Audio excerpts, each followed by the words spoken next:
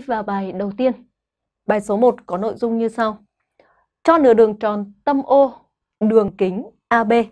Được chưa? Các bạn cùng cô vẽ hình nhé.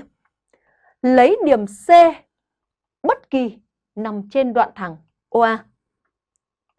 Lấy điểm C bất kỳ C khác O, C khác, à C khác O và khác A.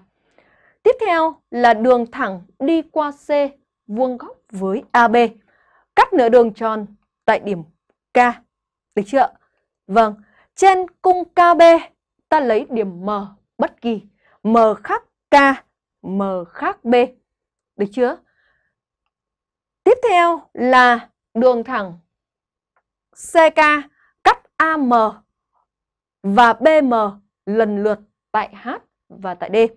Được chưa? Đường thẳng BH cắt nửa đường tròn tại điểm à tại điểm N. Được chưa? Vâng, cô trò mình lại như thường lệ đúng không ạ? Chắc chắn là các bạn quen với phong cách giảng của cô rồi đúng không? Và nhị...